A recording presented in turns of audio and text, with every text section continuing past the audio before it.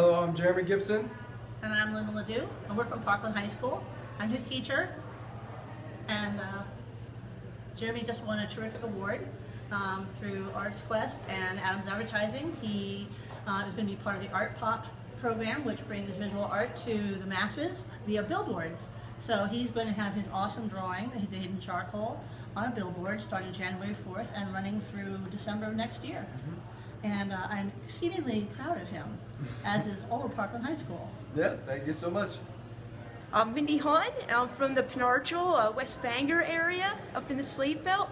And my inspiration for the piece was um, weathered wood, that kind of over time, you, you get the paint chips, the textures and the details and the cat's fur, details and the birds, kind of the interaction of the two. How long did it take you to work on this artwork?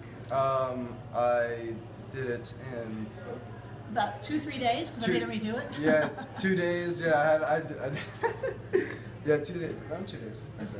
And it was specifically to that format, obviously. Um, uh, the the reason why I goofed at first is I, I did it. I cropped it in as uh, 12 by 3 instead of 24 by 6. So I had to redo it then, and uh, I had a little bit shorter amount of time to do it, but um, I, I got it done. He told me I was killing him by making him do it, but I said, never doubt me.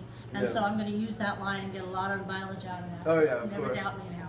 So it was terrific. It was a nice design. I, I, you know, I wanted to see it do well, and uh, you really pulled it off.